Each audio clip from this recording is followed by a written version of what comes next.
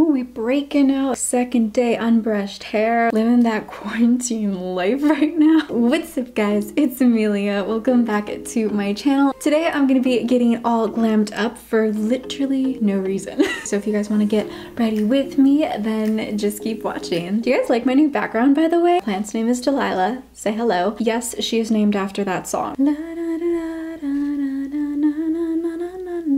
Okay, we're gonna start with the eyes because I feel like it's gonna be complex. I wanna go for the, like this hot pink look. I've been dying to use this shade right here. It is called Sandbar from ColourPop. So first I'm gonna be applying some Hourglass concealer. I'm gonna dab it. Now I've never applied this with a brush, so we're gonna try it because why not? I've actually been learning like a lot of different techniques online. Like you should really like cover this area up right here with concealer. But if you look right here, it's really dark right there.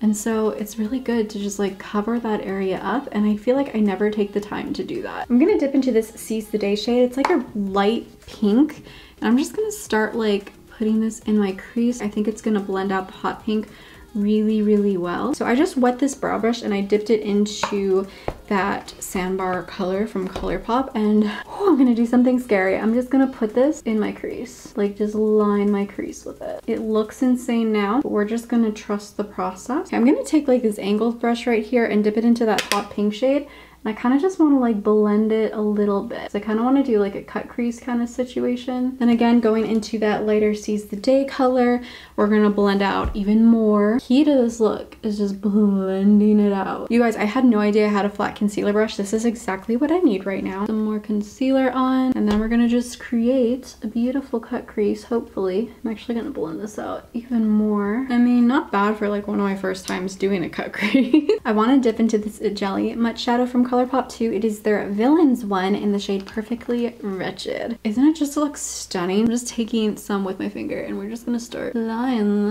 this very carefully. I also forgot, I really wanna like put pink right there as well, like make it really stand out. Okay, next I'm just gonna go in with the liquid liner. Hopefully it'll go over the Jelly Much Shadow.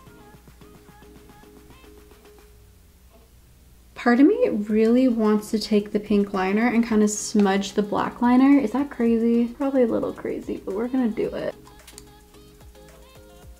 Before I do anything else, I'm gonna go into some foundation. So I'm just gonna go into the Wander Beauty Nude Illusion Liquid Foundation in the shade Fair. And I wanna try this new technique where you only use like a teeny, teeny, tiny bit and just kind of like embrace the skin you have. But I feel like with a crazy look like this, we might have to cover my skin up a little more than I want to. Okay, now going back into some concealer. I'm gonna go back into that brush. We're gonna see how the brush works like underneath the eyes. This actually works really, really well. I'm actually really impressed by this. I'm actually gonna go a little bit into some Cover FX drops before I set my face with anything. I really want this look to be like glowy. I'm just gonna take some on my finger.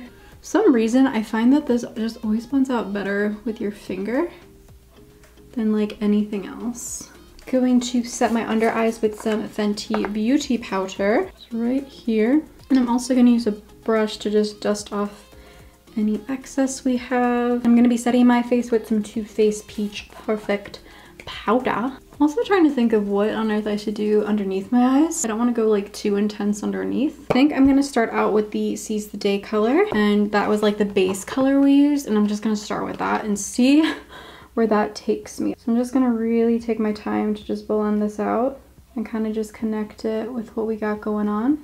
Then I'm gonna dip into the crazy hot pink color and just very lightly start going in. I'm gonna take that sharp angled brush and I wanna dip into this brown, just, just a little bit. And we're gonna just very, very gently line the outer third of the lower lash line. I don't want to go too crazy with this, but I do want to like bring some darkness Okay, now to kind of like complete the eyes, I want to dip into one of these gorgeous glitter shades. I'm tempted to dip into like the slightly darker one. This shade is the shade Band Tee. Very gently press this onto the lid and glitter is just gonna go everywhere.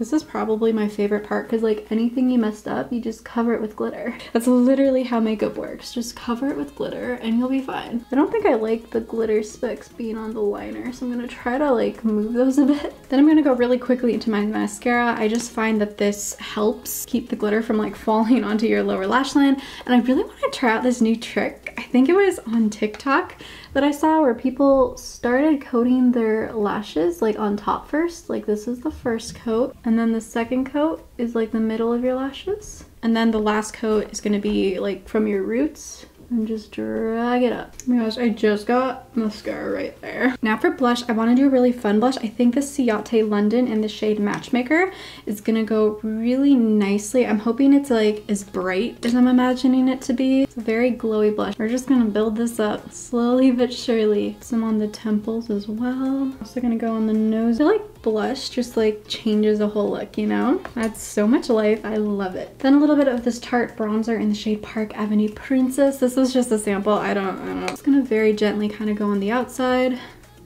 and bring it in a little bit just to add a little bit of dimension. Here, doing it like a W works.